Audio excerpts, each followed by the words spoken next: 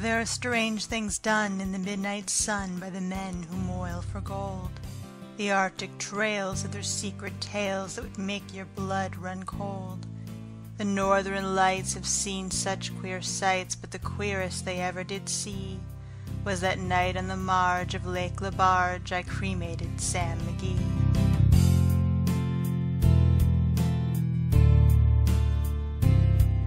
Now Sam McGee was from Tennessee, where the cotton blooms and blows.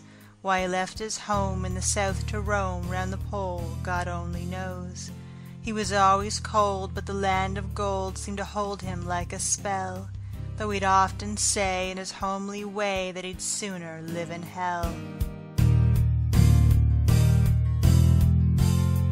On a Christmas day we were mushing our way over the Dawson Trail. Talk of your cold through the parka's fold, it stabbed like a driven nail. If our eyes we'd close and the lashes froze till sometimes we couldn't see, It wasn't much fun, but the only one to whimper was Sam McGee.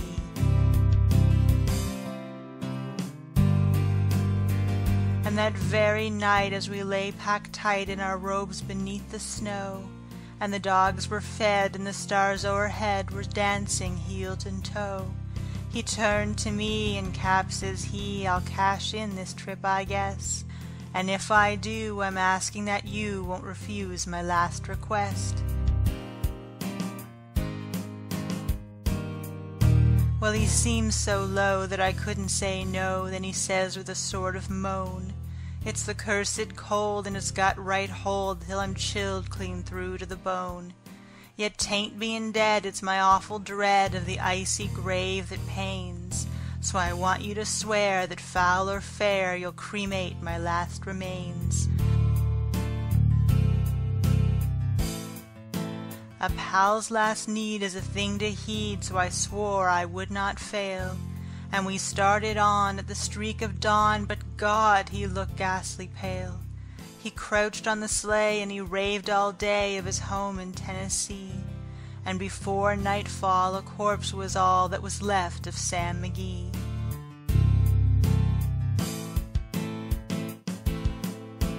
There wasn't a breath in that land of death, and I hurried horror driven, With a corpse half hid that I couldn't get rid because of a promise given.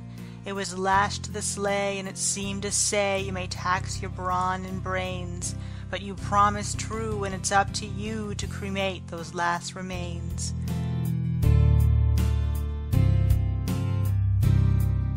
Now a promise made is a debt unpaid, and the trail has its own stern code. In the days to come, though my lips were dumb, in my heart how I cursed that load. In the long, long night, by the lone firelight, while the huskies round in a ring Howled out their woes to the homeless snows, O God, how I loathe the thing! And every day that quiet clay seemed to heavy and heavier grow, And on I went, though the dogs were spent and the grub was getting low. The trail was bad and I felt half mad, but I swore I would not give in, And I'd often sing to the hateful thing, and it hearkened with a grin.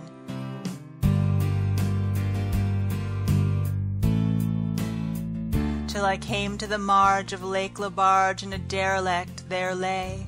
It was jammed in the ice, and I saw in a trice it was called the Alice May. And I looked at it, and I thought a bit, and I looked at my frozen chum. Then here, said I, with a sudden cry, is my crematorium.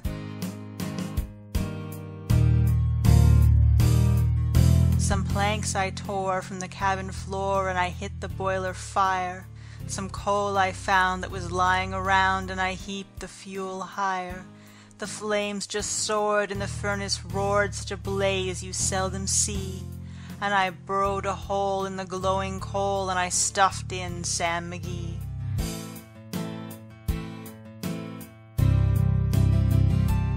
Then I made a hike, for I didn't like to hear him sizzle so. And the heavens scowled, and the huskies howled, and the wind began to blow. It was icy cold, but the hot sweat rolled down my cheeks, and I don't know why. And the greasy smoke in an inky cloak went streaking down the sky.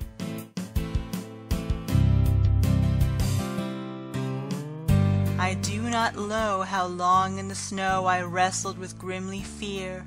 But the stars came out and they danced about ere again I ventured near. I was sick with dread, but I bravely said I'll just take a peep inside.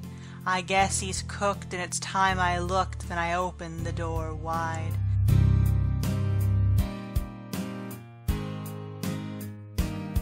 And there sat Sam looking cool and calm in the heart of the furnace roar, And he wore a smile you could see a mile, and he said, Please close that door. It's fine in here, but I greatly fear You'll let in the cold and storm. Since I left Plumtree down in Tennessee, It's the first time I've been warm.